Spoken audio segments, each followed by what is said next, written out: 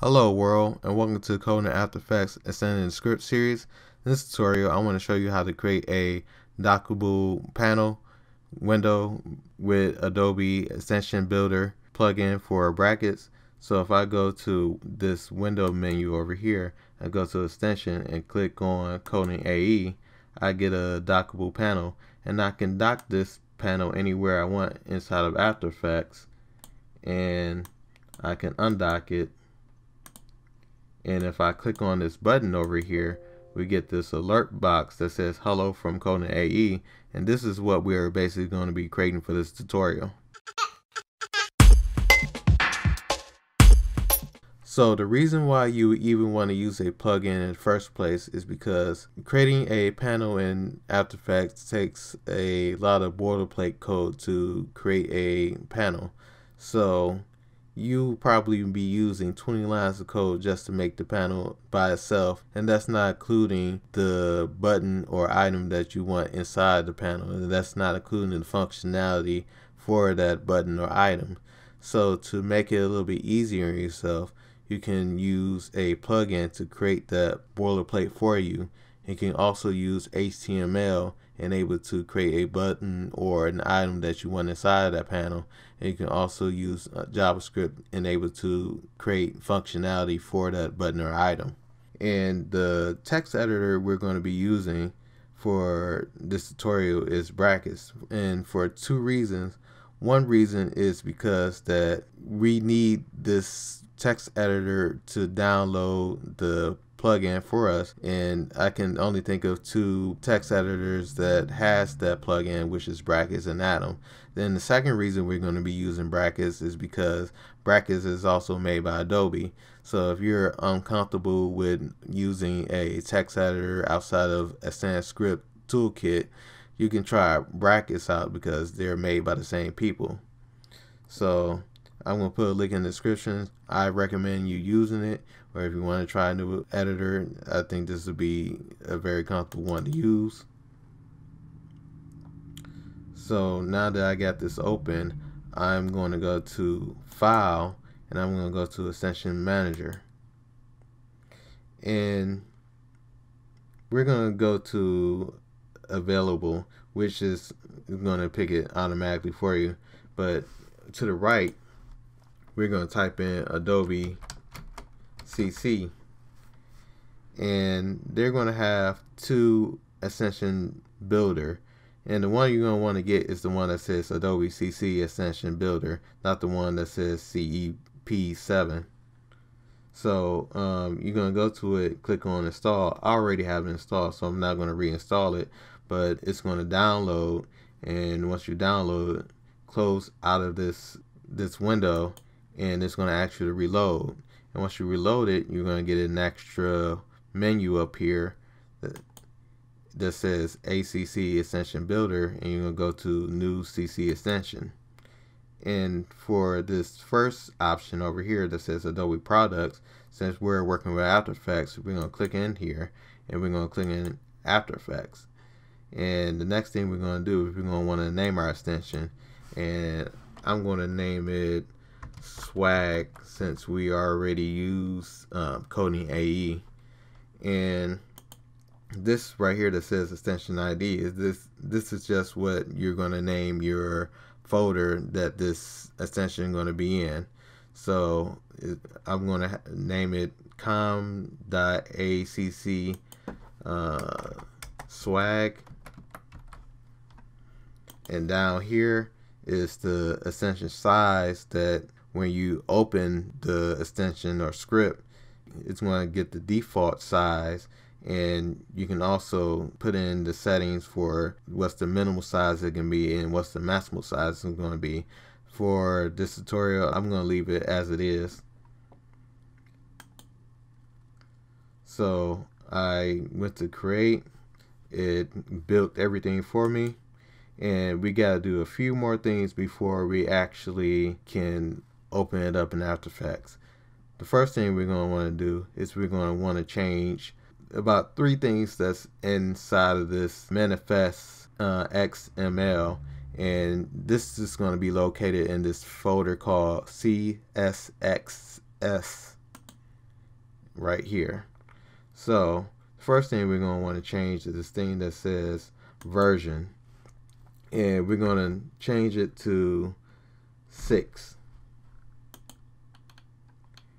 Um, what is this for? This is basically um, the CSXS.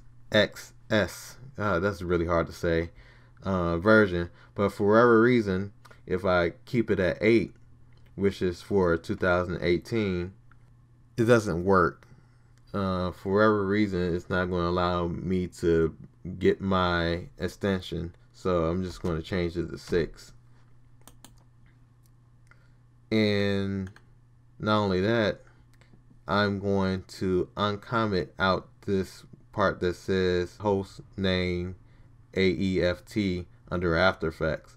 So to uncomment it out, all you got to do is get rid of this little part that's got the less than sign and the arrow, and also get rid of the arrow that's over here. And this is just what version of AE that you want to choose.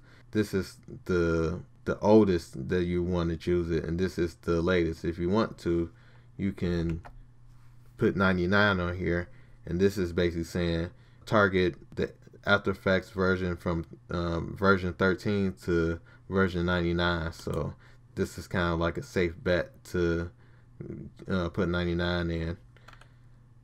And I think that's it. So remember, change uh, the version to 6 up here and the version to 6 down here and uncomment this out and everything should be good. You're going to save it after that. And you have to do one more thing before you actually jump into After Effects. Is um, you're going to have to go in here and go to your red reg edit. And so for security reasons, After Effects is not going to allow you to write your extensions in there with HTML and all that without going inside of your uh, registry editor. So you go inside your registry editor, make sure you go to computer H key current user slash software slash Adobe slash uh. So you're gonna go inside of whatever version that you're working with. Since I'm working with 2017, I'm gonna click on this CSXS7 and I'm gonna go inside of that folder, which is right here, and I'm gonna right click, go to new, and I'm gonna click on string value, and I want to type in player debug mode. And make sure you have a capital letter for each uh, word. So P D and M is going to be capitalized. And after you create that you're going to want to right click on it go to modify and inside of value data type in 1 push OK. And then that should be everything we need to do. So if we open up After Effects, uh, give it a second, go to Window, go to Extension, we get Swag.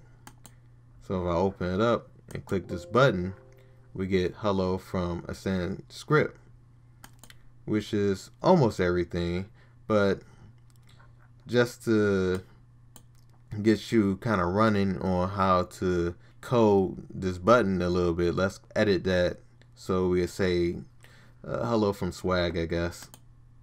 So we're going to go back into brackets and we're going to go inside this JSX folder and we're going to click on host script.js. And in this function right here, we're going to get rid of the part that says um, hello from uh, ExtendScript. Instead of uh, ExtendScript, we're just going to put in swag or coding A. Don't need to use that no more. And we're going to save it. And if we come back to After Effects, exit out of that, reopen swag again, and click on here we get hello from Coding AE. And that's it. This is basically how to create a quick, fast panel. And you might be asking yourself where the HTML at, but HTML is right here. And I know this seemed like a lot, but this is really simple if you know uh, HTML and I have some tutorials going over that. But this is basically the button right here. And all you have to do is write the button tag in there and write whatever you want it to be I can put call AE